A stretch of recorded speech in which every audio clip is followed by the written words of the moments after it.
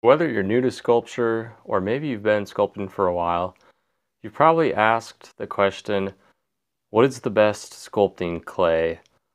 Well, for me, I've used this type of clay that I'm going to show you here for my whole life.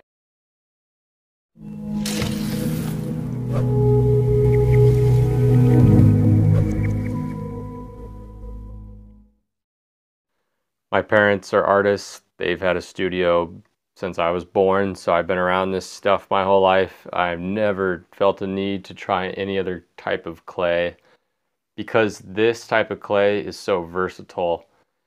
And this clay that I'm recommending is Roma Plastilina.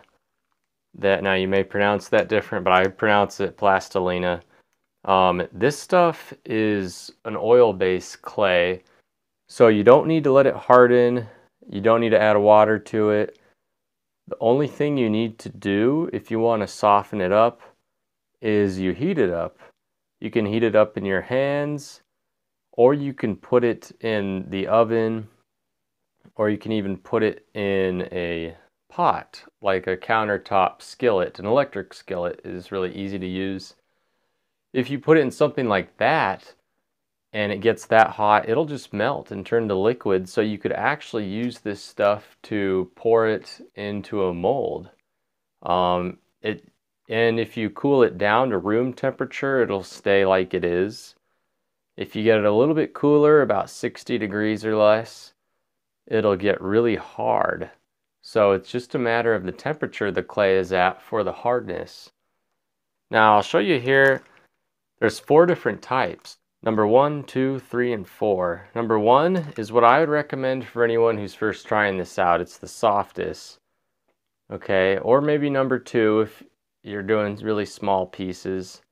I wouldn't go to number three or four unless you're maybe pouring a mold where you have a little tiny part that you want to add to the sculpture. Um, I'll show you here. The problem with that is see here. I think this is this is number two. Now this is number two here, and this stuff is pretty soft still, but when you get to number three or four and you try to take two pieces and, and you try to put them back together, they tend not to stick and your sculpture will crack a lot. So I would just stick to one or two. Um, let's see, I think this one is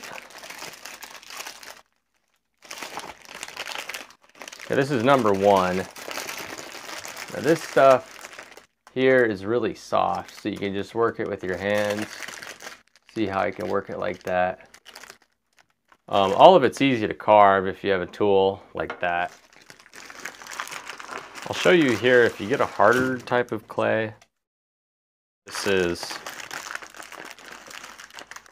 so this is number three. It's not even the hardest type, but you can see it, it's kind of it'll break like that. Okay, if you just move it a little bit, see how it kind of crumbles? Number four will really crumble on you. But it's great for carving if you have a solid block like this and you want to carve. It's really good for getting that detail. You know, that the other stuff you can carve too, it just stays a little bit softer in air temperature. So like I said, I would stick to number one to start out. Uh, a brick like this is two pounds. A two pound brick is only $14 online and that's for any hardness of the clay. So it's really not that expensive. I would definitely recommend it and try it out.